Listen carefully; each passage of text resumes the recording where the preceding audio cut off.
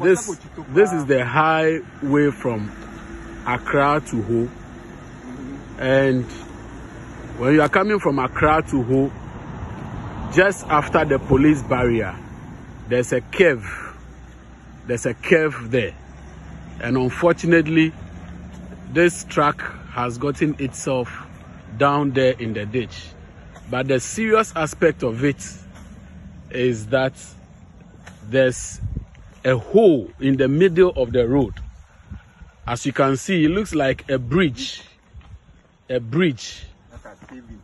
And the vehicle, I think from the way it looks, it looks like it got the accident right at this spot.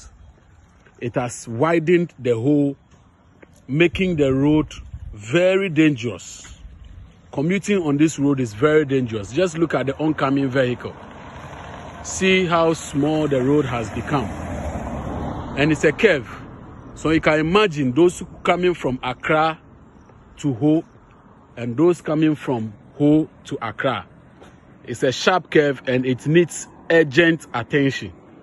So anybody that can see this video, please draw the attention of the authorities. It must be fixed as soon as possible. Thank you. Safety on our road.